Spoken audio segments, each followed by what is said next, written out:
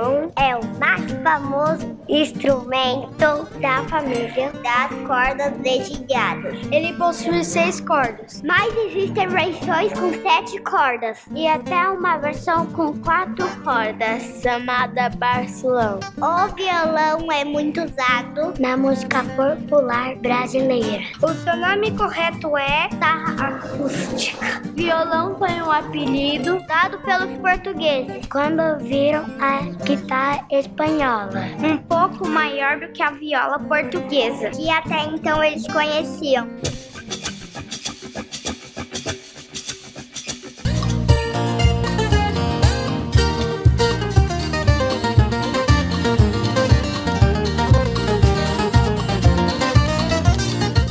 Viola caipira é um instrumento típico do nosso Brasil. Ela também é conhecida por viola sertaneja e viola cabocla. Ela é uma versão da viola portuguesa e foi usada pelos jesuítas na catequese dos índios. A viola caipira possui 10 cordas em cinco pares. Ela é o símbolo da música sertaneja chamada de modo de viola. No Nordeste existem duelos de viola. Alguns até usam o chocalho da Cascavel só para descobrir melhor violeiro da região.